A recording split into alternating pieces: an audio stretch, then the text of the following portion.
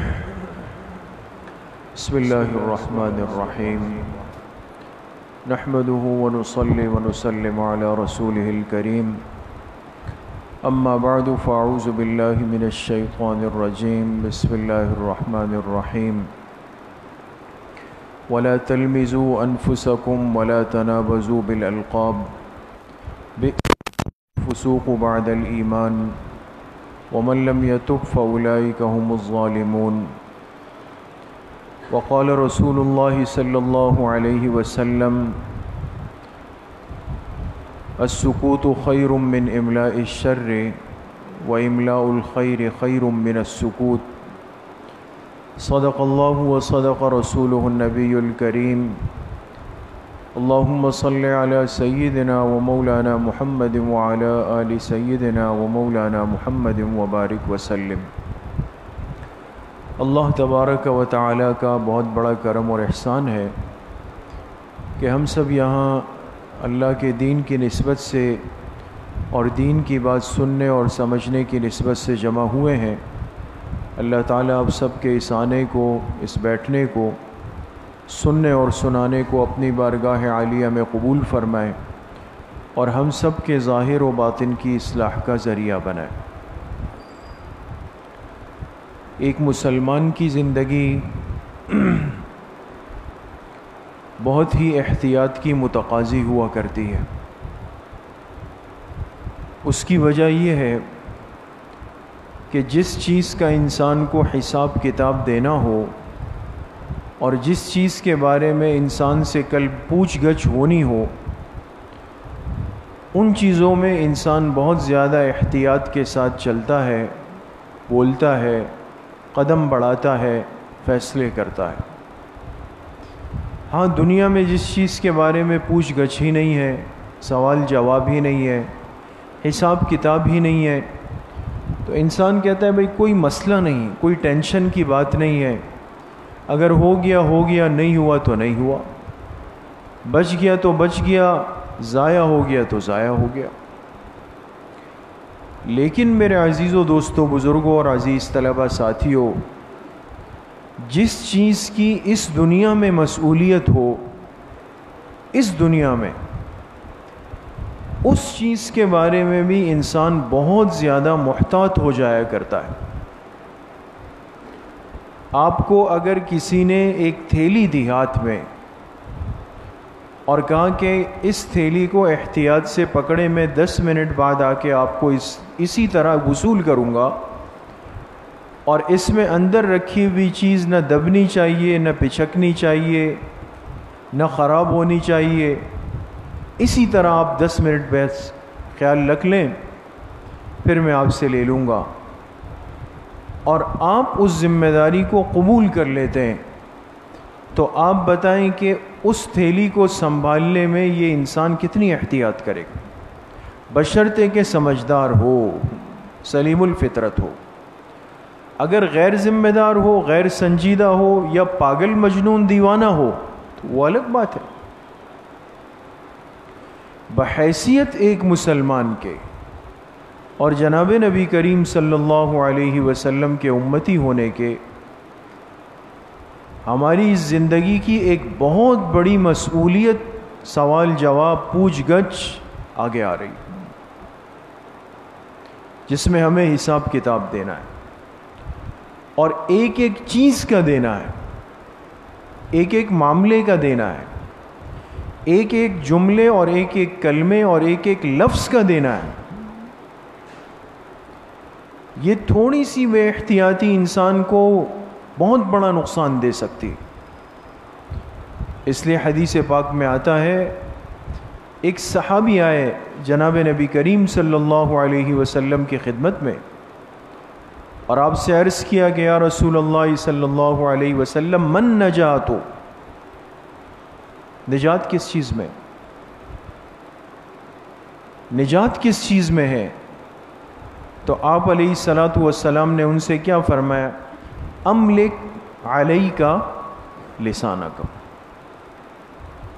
अमलिक अलई का लिसाना का तेरी ये ज़बान तेरे काबू और कंट्रोल में आ जाए। ये काबू में आ जाए। एक रिवायत में है मुहदसिन फरमाते हैं कि आप सलाम ने अपनी ज़बान मुबारक को दो उंगलियों के माबईन पकड़ा। जैसे इंसान पकड़ता है, ऐसे पकड़ के फरमाया अमलिक अलई का लिसान का समझाने के लिए कि ये अच्छी तरह समझ जाए, पर मैं ये गोश्त का टुकड़ा तेरे काबू में आ जाए। ये कंट्रोल हो जाए तो निजात है। एक दूसरे सहाबी बैठे हुए, उन्होंने सवाल किया, या रसूल अल्लाह सल्लल्लाहु अलैहि वसल्लम, क्या इस ज़बान के बारे में भी हमसे पूछा जाएगा? आपने फरमाया, यही है वो गोश्त का टुकड़ा कि जो इंसान को क़्यामत के दिन मुँह के बल जहन्नम में गिरा देगा। यानी गलत इस्तेमाल होगी गैर मोहतात इस्तेमाल हो जाएगी, जो नहीं बोलना था वो बोल चुकी होगी। उस गैर एहतियात ज़बान का इस्तेमाल इसको जहन्नम में गिराने का सबब बन जाएगा। इसलिए मेरे अजीज़ों दोस्तों, बुज़ुर्गों, आज इस मामले में कि मुझे बोलचाल में, बातचीत में, अल्फाज के इंतखब में, कलिमात के चुनाव में क्या करना है? यकीन करें, मैं आम लोगों की बात अर्ज़ नहीं करता हूँ कि जो बिल्कुल माहौल से, दीन से, मस्जिद से, इल्म से कटे हुए भाई, अगर एक इंसान को दीन की समझ ही नहीं है, दीन से रब्त ही नहीं है, दीन से ताल्लुक़ ही नहीं है, उसने अपने दीन को, दुनिया आखिरत को समझा ही नहीं है, बस बरए नाम एक कलमा पढ़ने वाला नफ्स मुसलमान है। वो अगर उल्टा सीधा बोल दे, दाएँ बाएँ हो जाए तो हम कहेंगे, भाई, ये अनपढ़ आदमी है, कुछ भी नहीं जानता, इसको पता ही नहीं है। लेकिन ख़तरे की बात उस वक्त है। और अफसोस की बात उस वक्त है कि जब एक आदमी दीन की समझ रखता हो, दीन से नस्बत रखता हो, दीन से जोड़ और रब्त रखता हो, दीनी माहौल को समझता हो, आखिरत की ज़िंदगी पर ईमान और यकीन रखता हो, और ये जानता हो कि एक दिन आएगा जब मुझसे एक एक ज़र्रे और एक एक लम्हे का हिसाब किताब होगा। अगर ये मुसलमान ज़बान के इस्तेमाल में गैर महतात है तो ये बहुत बड़ी बदनसीबी और बहुत बड़ी महरूमी। और आज बहुत अफसोस की बात है कि हम इस मामले में बहुत ज़्यादा गैर मोहतात हो चुके हैं। इसलिए हदीस पाक में आप सलाम ने जिन दो बातों पर जन्नत की ज़मानत दी ना, इंसान जिस चीज़ की ज़मानत देता है, बहुत बड़ी बात हुआ करती आप किसी से कहें कि बेफिक्र हो जाओ, ये मेरे ज़िम्मे हो गया। ये जुमला मामूली नहीं इसमें गोया आपने उसका सारा बोझ लेके अपने सर पे रख दिया है। उसको फारिग कर दिया। अब आप सलाम जैसी ज़ात अकदस है, और वो ज़मानत ले, वो भी जन्नत की। आप बताएँ कितनी बड़ी ज़िम्मेदारी।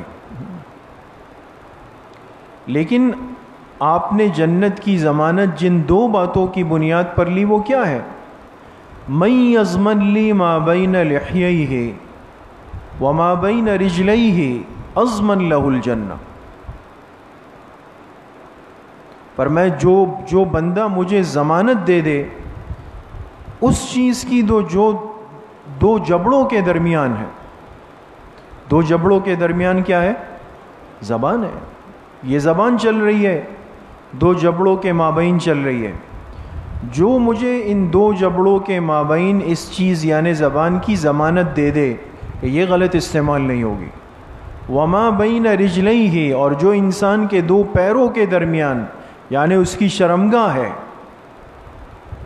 इसकी ज़मानत दे दे कि इसका गलत इस्तेमाल नहीं होगा तो अज़मन लहुल जन्नत, मैं इसको जन्नत की ज़मानत देता हूँ।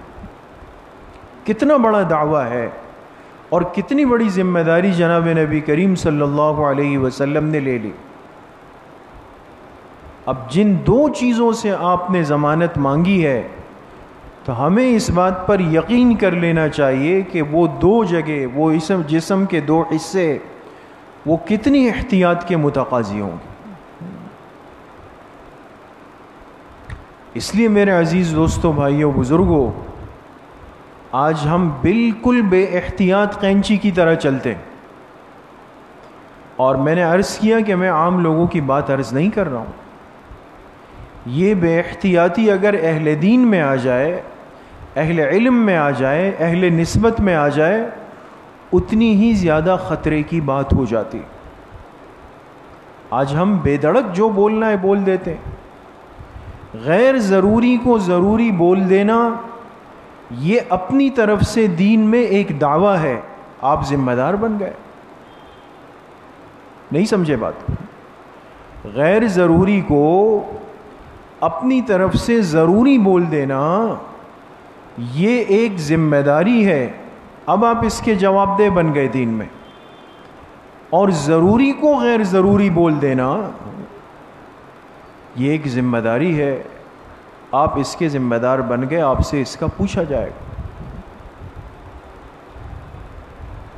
हज़रत शेखुल हदीस मौलाना ज़करिया साहब रहमत कि आप बीती में लिखा है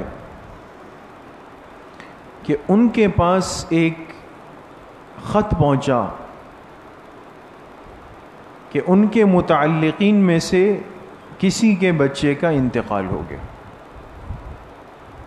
अब ताल्लुक़ बड़ा गहरा था और उस ज़माने में ये तेज़ निज़ाम मवासलात और मुरासलात का तो था नहीं कि भाई मिनटों में मैसेज जाए या ईमेल जाए या फ़ोन हो जाए, कॉल हो जाए, ये नहीं था।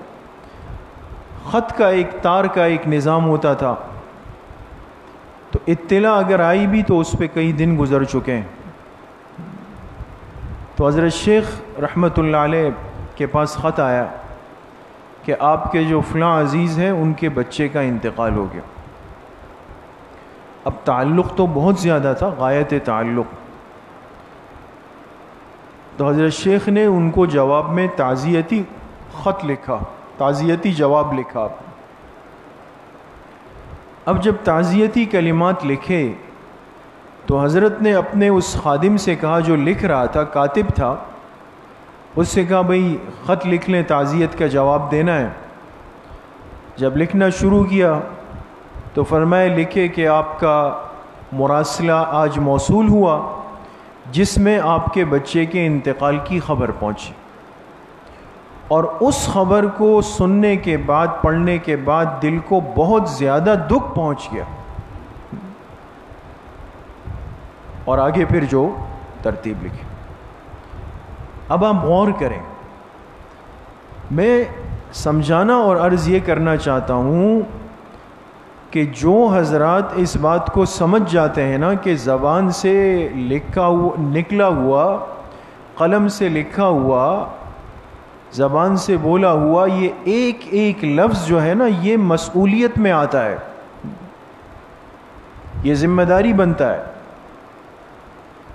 अब जब ख़त लिखा, उसको लिफाफे में बंद किया, खादिम से कहा, भाई, जाके करीबी डाक खाने में डाल दो ताकि चला जाए। ये आप बीती आप देखें हज़रत शेख अलैह की, आपको ये वाक़ इसमें मिलेगा। तो जब वो खादिम जाने लगे पर मैं उसको वापस बुलाया। उसको वापस बुलाया। काम ने ख़त में क्या लिखा है? उसने कहा, हज़रत, आपने फरमाया कि जवाब में लिखो कि आपका मुरासला आज मौसू हुआ। आपके बच्चे के इंतकाल की ख़बर सुनकर दिल को बहुत ज़्यादा सदमा पहुँचा। तो फरमाया कि ये बहुत ज़्यादा वाला लफ्ज़ मिटा दो। ये मुबालगा हो गया। इसलिए कि सदमा तो हुआ था मुझे। लेकिन इतना ज़्यादा नहीं हुआ जितना लिखने में आ गया। अब आप बताएँ, हम लोग क्या करते हैं? आजकल कुछ हो जाए तो वो दुआएँ और वो अल्फाज और वो कलिमात, चूँकि वो चीज़ अंदर से टाइप है ना, एक सॉफ्टवेयर ने बनाई हुई है अंदर से। खुद ब खुद एक लफ्ज़ उभर के सामने आता है तो हम उसको लिखते रहते हैं, चढ़ाते चले जाते हैं उस पर लिख देते हैं। और ऐसा लगता है कि इस सदमे में मुझसे ज़्यादा कोई गमगीन नहीं हुआ। या अगर कोई खुशी की खबर आई तो ऐसे अल्फाज और कलिमात का चुनाव होगा कि जिससे सामने वाला मुतासर हो, उस पर यह एक ऐसा इम्प्रेशन पड़े, मुझसे ज़्यादा तो उस किसी का दिल बागो बहार नहीं हुआ। ये लफ्ज़ी बनावट चल पड़ी। इसलिए मेरे अज़ीज़ तलबा और मेरे मोहतरम दोस्तों, बुज़ुर्गों, आज ये बेहतियाती ज़िंदगी का हिस्सा बन रही है। हम सिर्फ़ इंसान नहीं हैं, हम एक मुसलमान हैं, हमारा एक एक लफ्ज़ ज़बान से निकला हुआ एक एक कलमा, हमारा आपस में किया हुआ तकल्लुम, आपस की बातचीत, हर चीज़ एक ज़िम्मेदारी के दायरे में आती चली जाती। इसलिए मैंने एक जुमला बीच में अर्ज़ किया, अगर आपने सोच किया हो, और किया हो, कि गैर ज़रूरी को आप ज़रूरी कह देंगे, या ज़रूरी को गैर ज़रूरी कह देंगे, आप एक बोझ उठा रहे हैं दोस्तों। इसलिए फ़ुकहा ने, हमारे फ़ुकहा ने जो मसाइल का इस्तेमाल किया है, हम जो मसाइल पढ़ते हैं, अब एक सीधा सा मसला मैं आपसे पूछता हूँ कि जनाजे की नमाज़ का हुक्म क्या है? जी? जनाजे की नमाज़ का हुक्म क्या है? फ़र्ज़ किफ़ाया है।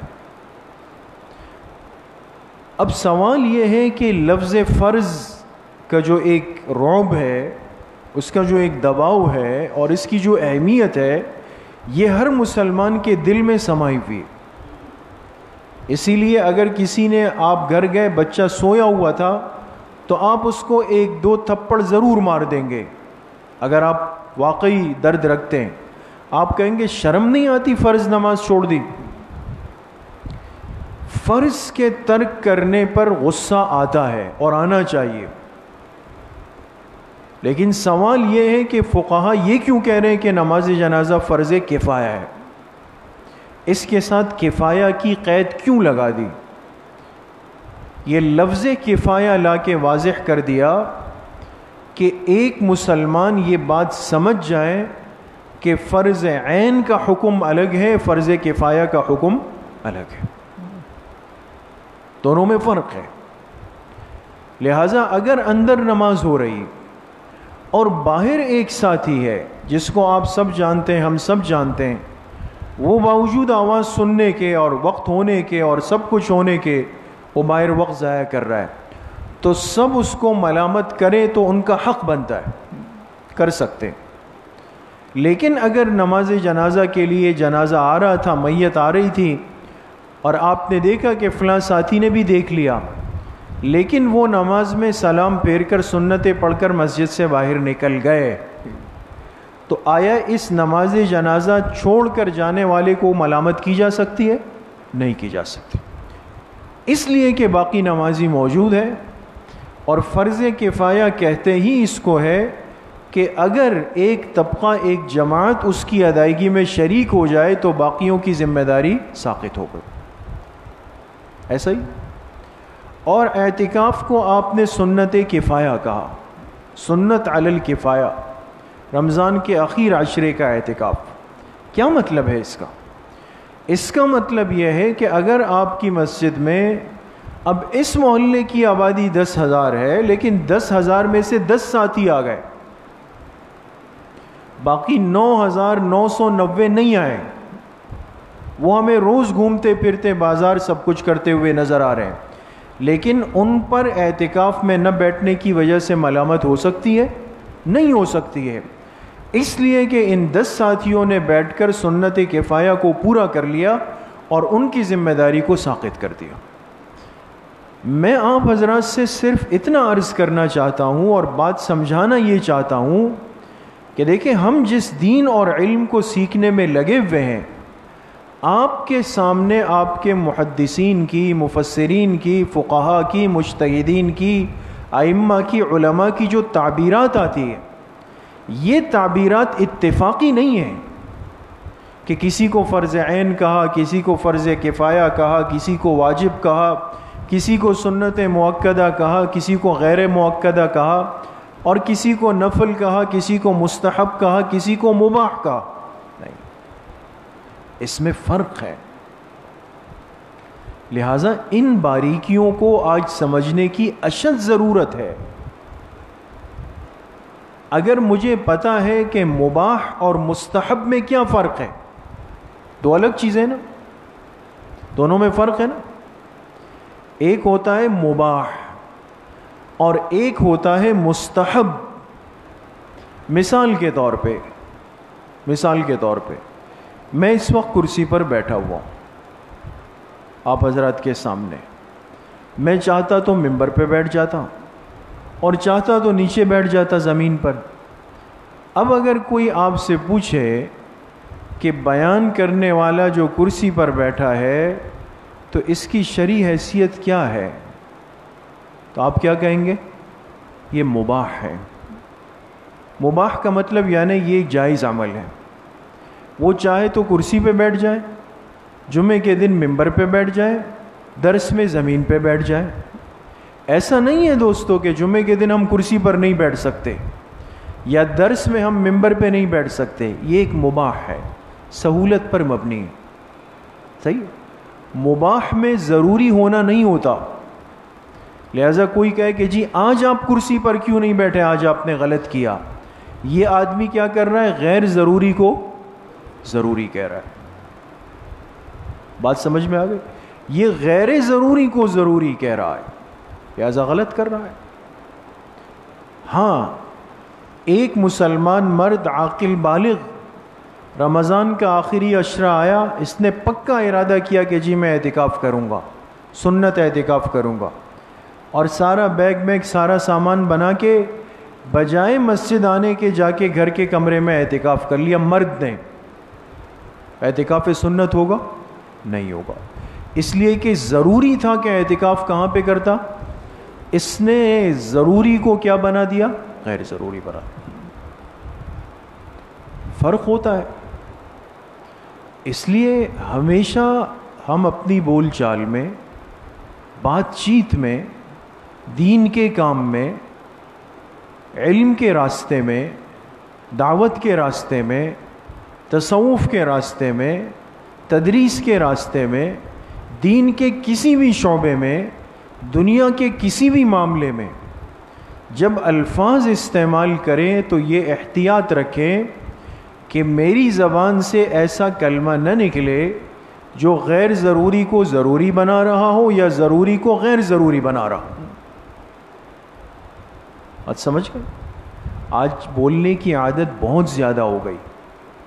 हमारे जो ताजिर हज़रत दुकान पर बैठते हैं ना, जब तक कस्टमर आना शुरू नहीं होते या कस्टमर चले जाते हैं तो उनकी आपस में जो बातचीत होती है ना, वो दुनियावी उमूर पे कम होती है, मसाइल पे ज़्यादा होती है। ये हमारा तजुर्बा है दोस्तों। जहाँ तक हम साथियों से सुनते हैं, हमारे हज़रत मौलाना ताउररहमान साहब शहीद अलैह, आप वाकिफ़ होंगे, वो इमाम थे सालिह मस्जिद सदर में ना, जो सदर की मरकज़ी मस्जिद है। अब वो तो पूरा मार्केट का एरिया है ना? इस तरफ़ जो है वो सारी ज्वेलर्स की मार्केट है और इस तरफ़ इलेक्ट्रिशंस है और ये पूरे मार्केट के बीच की मस्जिद है। अब मार्केट की जो मस्जिद है, इसके जो नमाजी होंगे, वो भी भांत भांत के लोग होंगे। कोई किसी सोच का, कोई किस सोच का, कोई किस सोच का। इसलिए हज़रत उस्ताद साहब अलैह बड़े हाजिर जवाब थे। अपने क़स्से और वाक़ात जब सुनाते थे ना तो बड़े अजीब व गरीब। इसलिए कि मार्केट की मस्जिद में तरतीब से चलना आसान नहीं होता। हर आदमी तकरीबन नीम मुफ्ती और नीम आलिम हुआ करता है वहाँ। तो उस्ताजी तलबा से एक बात मज़ाक में फरमाया करते थे, कहा, मैं तो चूँकि मार्केट की मस्जिद में होता हूँ तो कहा, अक्सर व बेशतर मुझे साथी आकर कहते हैं कि, इमाम साहब, आजकल मार्केट में ये मसला चल रहा है। आजकल मार्केट में ये मसला चल रहा है। यानी हमारी बहस आजकल इस मसले पर हो रही का हर दिन का मौजू अलग अलग हुआ करता है। तो एक आदमी मसले का इलम नहीं रखता, बस अपनी तरफ़ से ठोक दिया, जो ज़बान पे आ गया वो बोल दिया। किसी ने पूछ लिया कि जी इसका क्या मसला है तो एक ये कह रहा है, एक ये कह रहा है, एक ये कह रहा है। इतना इंसान हैरान होता है, मेरे पास एक साथी आए हमारे यहाँ करीब में। वो बेचारे एक रिस्क हलाल से जुड़े हुए साथी हैं। अब चले गए। तो वो एक साथी से किसी मसले पर उलझे। और वो मसला ये था कि एक फ़िरक़ बातिला है, एक गुमराह फ़िरक़ा है दुनिया में। उसके बारे में इस साथी की और एक और उनके दोस्त की आपस में बहस हो गई। जो दोस्त उससे मिलने आया तो उसने कहा कि जो फ़लाँ फ़िरक़ा है, एक फ़िरक़ा दुनिया में है, फ़िरक़ बातिला में से तो उस साथी ने इससे कहा, इस काम करने वाले से कि जी वो बातिल अकायद की वजह से काफिर है। इसने कहा कि जी वो काफिर नहीं है।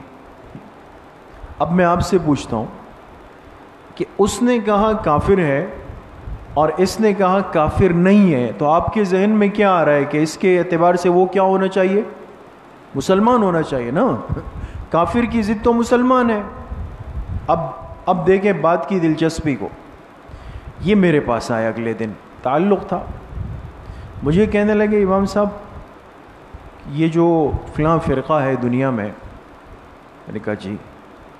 तो कहा, इनके बारे में क्या हुक्म है? मैंने कहा, क्यों? खैरियत कहा कि कल इस तरह एक साथी से बहस हो गई। वो कह रहे थे कि जी, ये अपने अकायद बातिला की वजह से दायरा इस्लाम से खारिज काफिर है। मैंने कहा, काफिर नहीं है। तो मैंने कहा, फिर आपने क्या कहा? यानी आपका दावा क्या था? तो कहा, मैंने कहा कि उनको काफिर नहीं कहेंगे, उनको मुशरक कहेंगे। नहीं समझ में आई बात। काफिर और मुशरक में बेतबार कुफर के कोई फ़र्क है दोस्तों? इस जवान ने तो और ज़्यादा ऊपर उठा के फेंक दिया है, मुशरक बना करके। अब ये नहीं समझ रहा था कि मुशरक तो बिल्कुल ही उसकी पुलाटी दिलवा के उठा के जहन्नम के बीच में फेंक दिया है। कहा, मैंने कहा, काफिर नहीं कहेंगे, उसको मुशरक कहेंगे। मैंने कहा, बिल्कुल सही कहा। तो ये फ़र्क भी नहीं पता आज मुझे कि भाई काफिर और मुशरक बेतबार हुक्म के एक ही है। जिस तरह काफिर किसी कुफरिया अकायद की वजह से काफिर है, मुशरक अपने शिरक की वजह से काफिर है। तो बहरहाल मेरे अज़ीज़ व दोस्तों, बुज़ुर्गों, अर्ज़ करने का मकसद ये है कि आजकल बातचीत में बेहतियाती बहुत ज़्यादा हो गई। हम ऐसी बातें, ऐसे कलिमात कह जाते हैं अपने जज्बात में कि जिसके बारे में मुझे पूरा दीन का इलम भी नहीं होता, लेकिन मैं अपने जज्बात में उसको बोल देता हूँ कि भाई ये काम ज़रूरी है और है वो गैर ज़रूरी तो फंस जाएँगे। या मैं कह दूँ कि जी गैर ज़रूरी है और वो है ज़रूरी तो भी फंसना है। इसलिए जब तक इंसान के पास पुख्ता, रासिख, गहरा इल्म न हो, मज़बूत इल्म उस वक्त तक इंसान अल्फाज के, कलिमात के, बातचीत के चुनाव में ऐसा लब लहजा इख्तियार करे जो इसको मसूलियत के अंदर न लाए, पकड़ के अंदर न लाए। ये मोहतात रहे। जहाँ इसको लगे कि भाई यहाँ तो गड़बड़ हो जाएगी, हमारे यहाँ तबलीग वाले हजरात कहते हैं, भाई मसाइल उलमा से पूछें। है ना? आम साथियों से कहा जाता है, भाई आप मसाइल नहीं बताएँ। क्यों? इसलिए कि मसला आलिम का काम है, आम साथी मसला बताएगा, सही, गलत दोनों का इम्कान है। आप अपने काम और मकसद से ही हट गए, अपने ऊपर एक बोझ ले लेंगे। कहा, भाई, ये आपका काम ही नहीं है, आप ये नहीं करें। तो बहसीत एक तालब इल्म के, एक मुसलमान के, आज इन मामलात में एहतियात की बहुत अशद ज़रूरत है। और इल्म अगर सीख रहे हैं तो ऐसा सीखें कि आपको ताबीरात का फ़र्क मालूम हो जाए। हमारे फ़ुकहा ने कलिमात तकफ़ीर, अगर आप में से बड़े तलबा जानते हैं, उन अल्फाज को मुस्तकिल अलग किया है। वो कौन से जुमले हैं जिनसे इंसान के ईमान पर, इस्लाम पर जद पड़ती है और ये इस्लाम के दायरे से निकल जाता है? वो कौन से कलिमात है जिससे निकाह का रिश्ता ख़त्म हो जाता है, हराम हो जाता है? इसको मुस्तकिल अलग बाप दिया है, अलग उनवान दिया है। क्यों? इसलिए कि ये चीज़ें एहतियात की मुतकाजी थी। आज मामूली मामूली बात पर कुछ ज़रा से जज्बात में आए, किसी को निकाल दिया, किसी को अंदर कर दिया। किसी का रिश्ता ख़त्म करा दिया, किसी का रिश्ता जोड़ दिया। और पता ही नहीं है कि मैं क्या कर रहा हूँ। अल्लाह करीम मुझे भी आप सबको सही अमल की तोफ़ी नसीब फरमाए। व आखिर दावाना अनिलहमदिल्ला रबालमीन अब इन कुछ देर के लिए ख़त्मात पढ़ेंगे। बसमीम अल्हम्दुलिल्लाहिल्लज़ी यत्तखिज़ वलदम वलम यकुल्लहु शरीकुन फ़िल मुल्क। वलम यकुल्लहु वलीयुम मिनज़्ज़ुल्ल व कब्बिरहु तकबीरा। तमाम साथी एक मरतबा दुरूद शरीफ पढ़ लें। अल्लाहुम्म सल्लि अला मुहम्मद व अला आलि मुहम्मद कमा सल्लैता अला अल्लाहुम्म बारिक अला मुहम्मद व अला आलि मुहम्मद एक मरतबा सूर फातिहा पढ़ लें बसमीम अल्हम्दुलिल्लाह रब्बिल आलमीन रहमान एक मरतबा दुरूद शरीफ पढ़ लें कमा सल्लैता अला इब्राहीम व अला आलि अल्लाहुम्म बारिक मुहम्मद एक मरतबा सूरह अलम नशरह पढ़ लें बसमिल्लाहिर्रहमानिर्रहीम। अलम नशरह लक सदरक। वज़अना अन्का विज़रक अल्लज़ी अनक़ज़ ज़हरक व फ़इन्न मअल उसरि युस्रन इन्न मअल उसरि युस्रा फ़इज़ा फ़रग़त फ़ंसब इला रब्बिक फ़रग़ब एक मरतबा सूरह इखलास पढ़ लें। यूलद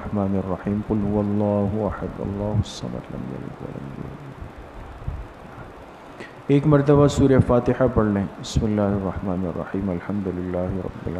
अर्रहमानिर्रहीम एक मरतबा दुरूद शरीफ पढ़ लें। अल्लाहुम्म सल्लि अला मुहम्मद व अला आलि मुहम्मद कमा सल्लैता अला इब्राहीम। आलि इब्राहीम इन्नका हमीदुम मजीद सात मरतबा पढ़े। अल्लाहुम्मा या काज़ी अल हाजात। या काज़ी अल हाजात। सात मरतबा पढ़े। अल्लाहुम्मा या काफ़ी अल मुहिम्मात। अल्लाहुम्मा या काफ़ी अल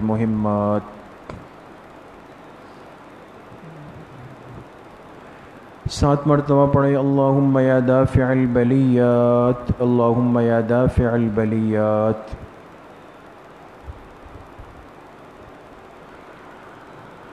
सात मरतबा पढ़े, अल्लाहुम्मा या शाफ़ी अमराज, अल्लाहुम्मा या शाफ़ी अमराज।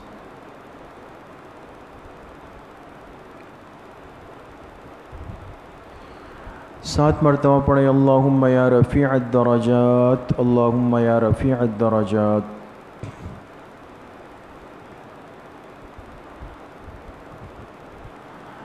सात मरतबा पढ़े अल्लाम या मुजीब दावत अल्लाम या मुजीब दावत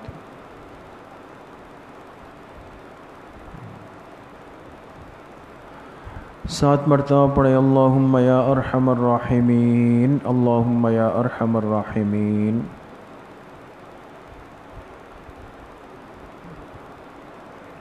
एक मरतबा दुरूद शरीफ पढ़ लें, अल्लाहुम्म सल्लि अला मुहम्मद व अला आलि मुहम्मद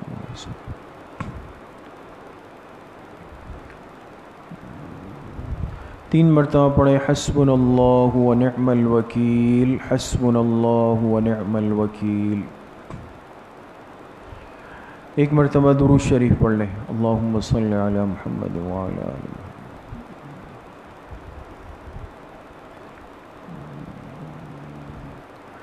तीन मरतबा पढ़े, या ख़फ़ी लुत्फ़ अदरिकनी बिलुत्फ़ कल ख़फ़ी या ख़फ़ी लुत्फ़ अदरिकनी बिलुत्फ़ कल ख़फ़ी एक मरतबा दुरूद शरीफ पढ़ लें। अल्लाहुम्म सल्लि अला मुहम्मद व अला आलि मुहम्मद कमा सल्लल्लाहु अला इब्राहीम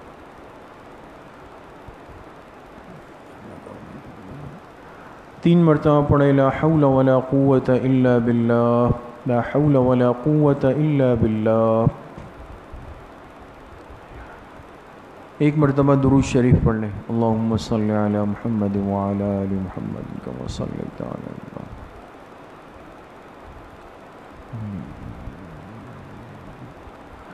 तीन मरतबा पढ़े, ज़ालिका फ़ज़लुल्लाहि युतीहि मन यशा, वल्लाहु ज़ू फ़ज़लिन अलल मुमिनीन ज़ालिका फ़ज़लुल्लाहि युतीहि मन यशा वल्लाहु ज़ू फ़ज़लिन अलल मुमिनीन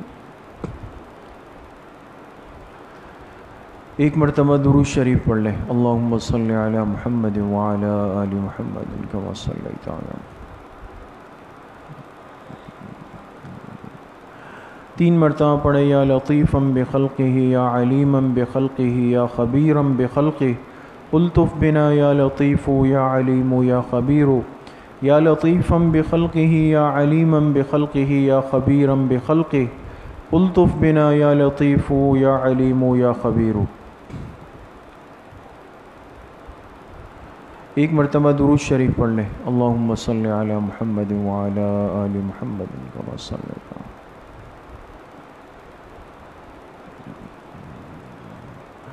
तीन मरतबा पढ़े, इन्ना लिल्लाहि व इन्ना इलैहि राजिऊन, इन्ना लिल्लाहि व इन्ना इलैहि राजिऊन। एक मरतबा दुरूद शरीफ पढ़ लें अल्लाहुम्म सल्लि अला मुहम्मद व अला आलि मुहम्मद कमा सल्लल्लाहु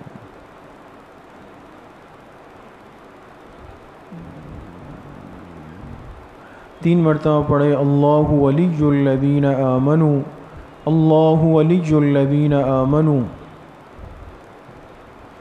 एक मरतबा दुरूद शरीफ पढ़ लें अल्लाहुम्म सल्लि अला मुहम्मद व अला आलि मुहम्मद कमा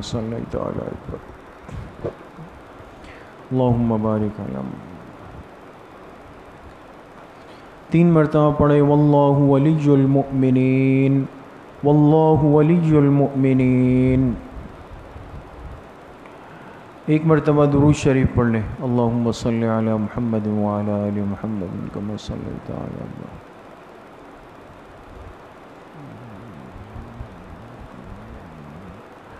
तीन मरतबा पढ़े रब फिर वरहम वंत खैरराहिमीन रब फिर वरहम वंत खैरराहिमीन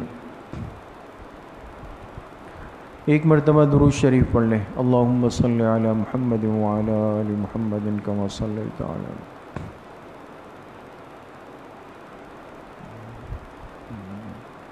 तीन मरतबा पढ़े, या लतीफ़ु, या ख़बीरु, या वदूदु, या शकूरु। या लतीफ़ु, या ख़बीरु, या वदूदु, या शकूरु।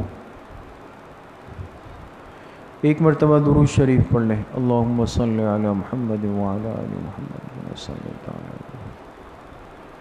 अल्लाहुम्म बारिक अला मुहम्मद तीन मरतबा पढ़े। वाफ़ अन्ना वग़फिर लना वरहमना अंत मौलाना फंसुरना अलल कौमिल काफिरीन। वाफ़ अन्ना वग़फिर लना वरहमना अंत मौलाना फंसुरना अलल कौमिल काफिरीन एक मरतबा दुरूद शरीफ पढ़ लें अल्लाहुम्म सल्लि अला मुहम्मद व अला आलि मुहम्मद कमा सल्लैत अला इब्राहीम व अला आलि इब्राहीम इन्नका हमीदुम मजीद अल्लाहुम्म बारिक अला मुहम्मद व अला आलि मुहम्मद कमा बारकत अला इब्राहीम व अला आलि इब्राहीम इन्नका हमीदुम मजीद ये जितने ख़त्मात मुबारक पढ़े गए, इसका इसाल सवाब जनाब रसूल अलैहि वसल्लम को आपकी कब्र मुबारक में और आपके वास्ते से पूरी उम्मत मुस्लिम बिलखसूस सहाबा इकराम खलफ़ा राशिदीन ताबीन तबा ताबीन इस उम्मत के मुफसरीन मुहदसिन मुश्तदीन फ़ुक़ा अम्मा अरबा सलासिल अरबा सिलसिला नक्शबंदिया, कादरिया, चिश्तिया, सहरवर्दिया के अपने तमाम मशाइ बुज़ुर्गों को अपने तमाम इस इकराम अज़ीज़ व अकारब, वालदेन, दोस्त, अहबाब, रिश्तेदार, जिन जिन के हम पर हकूक़ और एहसानात हैं, बिलखसूस अपने हज़रत वाल साहब रहमत को इसका ईसाल सवाब करते हैं। अल्लाह पाक इन तमाम हजरात को कामिल दर्जे में इसका सवाब नसीब फ़रमाएँ। अब कुछ देर के लिए साथी मुराकबा करेंगे। ज़िक्र कल्बी, तमाम साथी अपनी आँखों को बंद कर लें, सरों को झुका लें, दिल की तरफ़ मुतवजह हो जाएँ। यकसू हो जाए और दिल में ये तसव्वुर करें कि अल्लाह की बारगाह से अनवारात, फ्यूज़ात तजलियात वो मेरे दिल पे वारिद हो रहे हैं।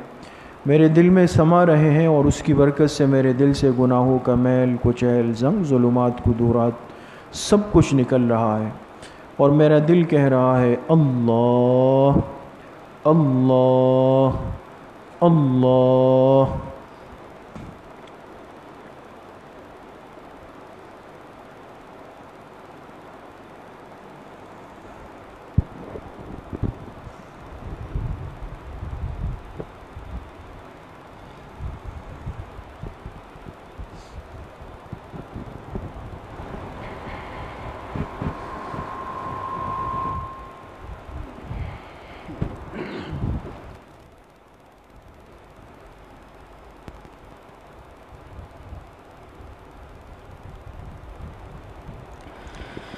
तेरा जलवा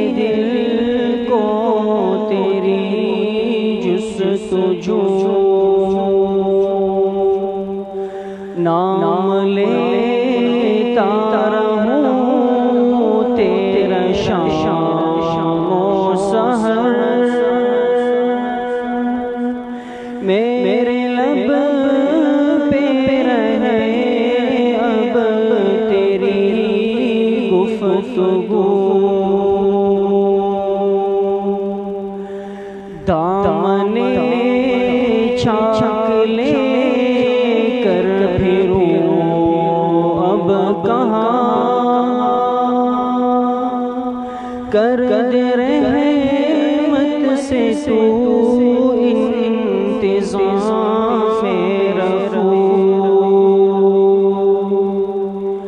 अब तो जाम में मोहब्बत पिला साकिया